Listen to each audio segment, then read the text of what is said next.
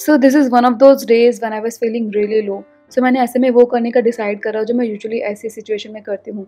लेकिन उससे पहले मैंने कुछ कलर अपने फेस पर लगाया to look fresh and now let's begin so I usually do cleaning yes you heard it right तो जब भी मुझे एंशियस फील होता है लो फील होता है तो मैं अपने रूम की डीप क्लीनिंग करना शुरू कर देती हूँ।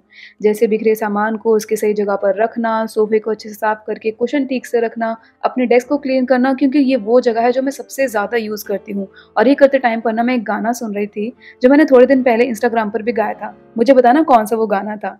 एंड मैंने काफ़ी जगह पढ़ा भी है कि क्लटर और मैस डायरेक्टली रिलेटेड होते हैं to negative emotions like tension stress anxiety and confusion वहीं क्लीनिंग पॉजिटिव इमोशंस को प्रोड्यूस करती है और आपको काम एंड रिलैक्स भी करती है। और ये चीज़ मुझे ट्राई करने के बाद पता चली कि एक्चुअल में ये चीज़ वर्क भी करती है। एंड सफ़ाई करते हुए मुझे ये टेबल मिली जो कि काफ़ी दिनों पहले मैंने ऑर्डर करी थी तो मैंने सोचा आज इसको सजाते हैं। उसके बाद मैंने मैट को अच्छे से झाड़ा, जितनी भी धूल थी ना, वो सब निकल गई। उसके बाद मुझे मिला एक एनवेलप जो कि मैंने एक रिसेंट रील में भी इसको यूज़ किया है। मुझे बताना कौन सी रील की मैं बात कर रही हूँ। और इस तरह से चला हमारा सफ़ाई अभियान और ये करते करते ना मुझे काफ़ी अच्छा फील होने लग गया था।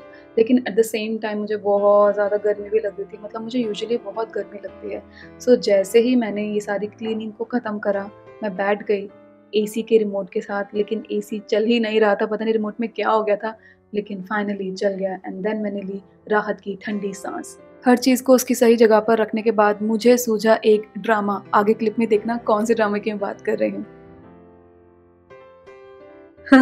तो यस इस तरह से मैंने अपने रूम में एंटर करा, जैसे कोई बाहर से आया हो और मेरे रूम को देखकर हक्का बक्का रह गया हो कि कितना खूबसूरत है इस लड़की का रूम और यस मेरा रूम कुछ इस तरह का दिख रहा था, मुझे बहुत ज़्यादा अच्छा लगा। उसके बाद मैंने प्ले किया अपना फेवरेट सॉन्ग एलेक्सा प्ले चाँद तारे।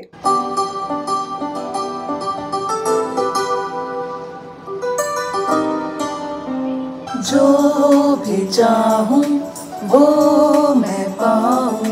ज़िंदगी में जीत जाऊँ। चाँद तारे तोड़ लाऊं।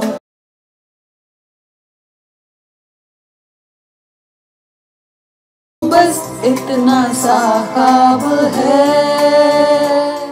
So this is what I do when I don't feel good या फिर मुझे बहुत लो फील होता है एंशियस फील होता है लोनली फील होता है, बहुत सारे नेगेटिव थाट्स मेरे दिमाग में आने लग जाती हैं, या फिर डीमोटिवेटेड फील होता है ना देन मैं ऐसी एक्सरसाइज या फिर ऐसी एक्टिविटीज़ करती हूँ उस टाइम पर। मतलब एक तो क्लीनिंग है कि मुझे अपना रूम क्लीन करना है, दूसरी एक्टिविटी जो मैं करती हूँ कि मैं अपना वार्ड्रोब जो है वो अरेंज करती हूँ। मतलब अगर आपका वार्ड्रोब हमेशा मैसी रहता है लाइक मेरा तो मोस्ट ऑफ़ द टाइम्स रहता है तो जब मुझे ऐसा कुछ फील होता है ना बहुत लो फील होता है देन मैं उसको भी अरेंज करना पसंद करती हूँ। ये दो चीज़ें हैं जो मैं हमेशा करती हूँ। आप मुझे बताइएगा कि जब आपको लो फील होता है तो आप क्या करना चाहते हैं? लाइक like, आपको क्या करना पसंद है जिससे आपका मूड अपलिफ्ट हो जाता है?